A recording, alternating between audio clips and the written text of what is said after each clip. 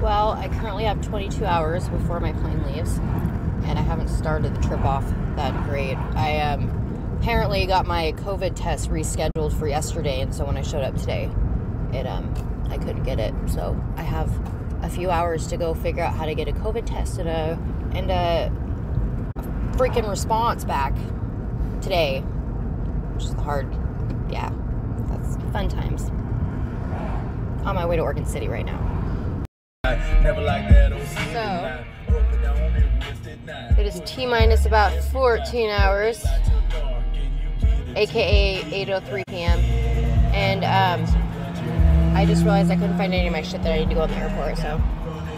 So we're heading back to Silverton right now. We'll check if they're there, but I know they can't be because I know I grabbed them and brought them back home, but I cannot find them anywhere. So we. Xander, say hi. Oh, he saw the airplane.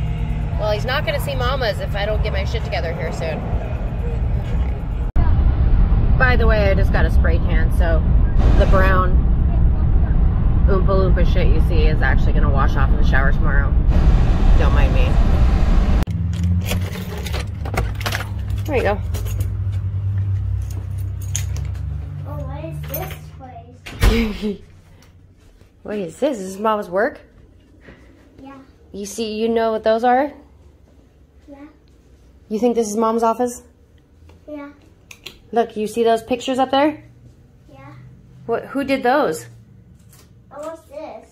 Oh, that's a little door. Oh, fuck yeah, there they are. There. Yeah. This is gonna be a good trip.